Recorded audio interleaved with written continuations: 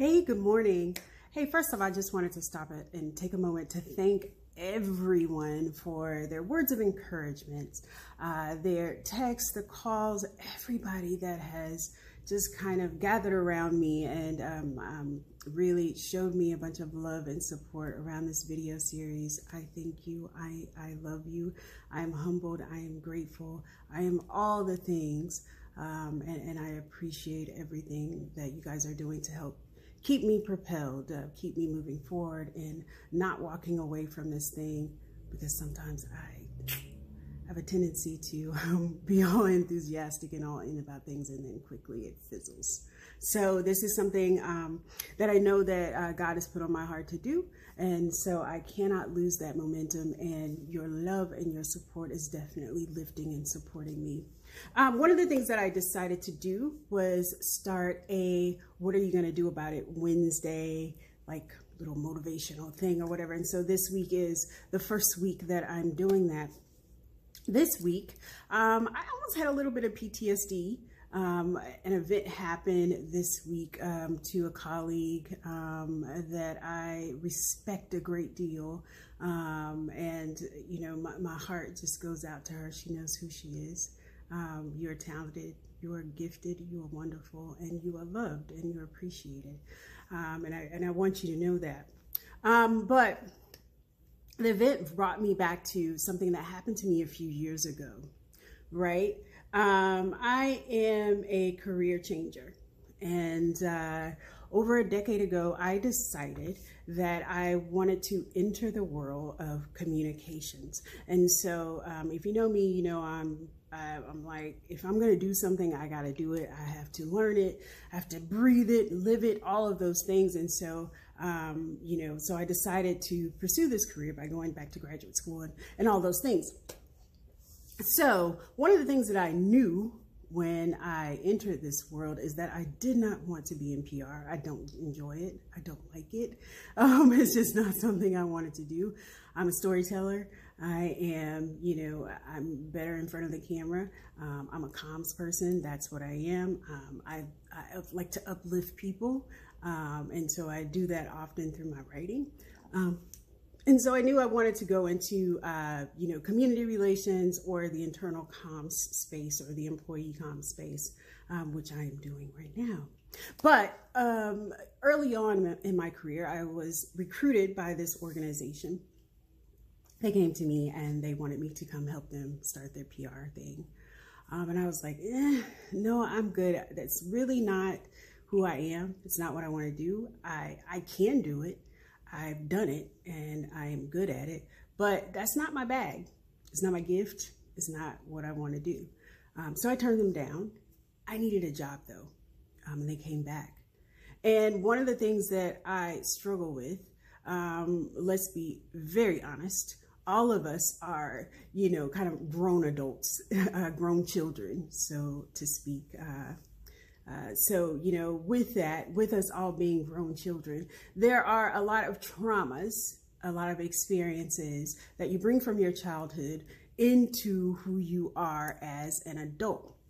One of, uh, one, I guess, result of the trauma that I experienced as a child is uh, something I didn't know and didn't re recognize until 40s is that I, um, because there was a lot of rejection um, in my life as a kid, subconsciously, I'm always looking for this, this need to be needed or, um, you know, or uh, as it was with this company, if someone comes to you and they want you, why would you turn them down?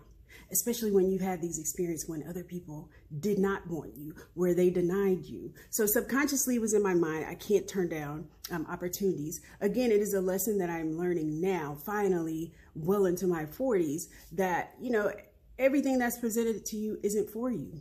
And sometimes you need to walk away from that. So getting back to this, um, I took the role knowing that it was not for me, uh, that I did not want it but they wanted me. How could I say no? Um, so I took the job, and while I was there, you know, in the first month, I got awards. Um, I was recognized, and uh, thought I was doing well. Um, so I went in at Christmas Eve, uh, and one of my closest colleagues was acting a little different towards me. I knew something was off. A couple of uh, minutes later, after I arrived into the office, I was called into the HR office and I was then told that I would be losing my role, um, that my job would be eliminated. So it's pretty much thank you for your service. Get out the door. Um, I was devastated. I cried. I was disappointed. You know, all the emotions that come with number one, with losing your source of income, with losing a job. But then also, number two, I thought they wanted me, you know? I thought someone loved me. I thought they wanted me. They said all the right things. Um, you know, they convinced me to come, but obviously they did not. Um, but what happened? I had a what are you going to do about it moment. Um, I picked myself up. I refocused. I said, you know what? This was not what I wanted to do anyway. This is not my gift. This is not my passion. This is not what I believe God has put me on this earth to do. Um, and so I started contracting. I started taking courses, uh, going to webinars, conferences, whatever I could do to help put me in that space uh, of comms that I wanted to be in.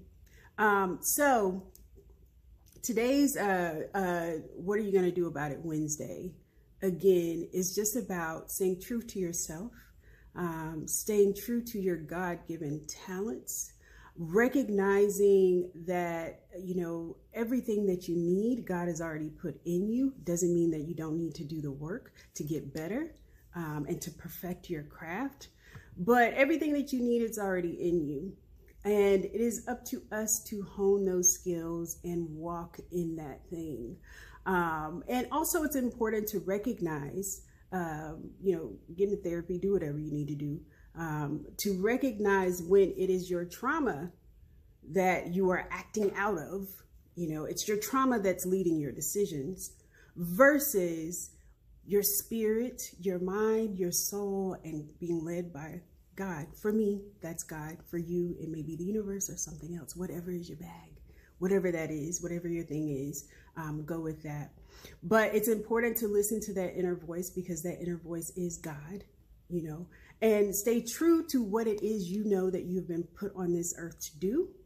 Um, do everything you need to do to nurture that um, and just walk forth in that. So, yeah, that that's today's. What are you going to do about it Wednesday? Um, I, there was some transparency Tuesday mixed in there too, um, but anyway, that's what we have today. Um, thank you guys again for your support. Thank you for listening. Um, thank you for everything. I, I hope to be releasing a date soon. Um, I have some phenomenal people coming on to talk to you about some of the things that um, they've gone through and they've survived, and I'm so thankful to them. Um, so I, I hope this is going to help somebody. I hope it's going to be a good series. I can't wait to share it with you. All right, you guys have a Merry Christmas, okay? All right, bye.